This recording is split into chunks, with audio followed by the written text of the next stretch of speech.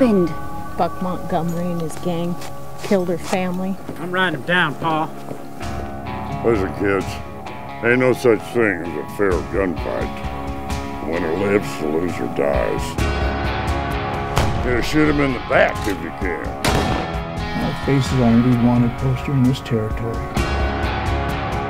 I know this kind of man. He won't forget. He's coming soon.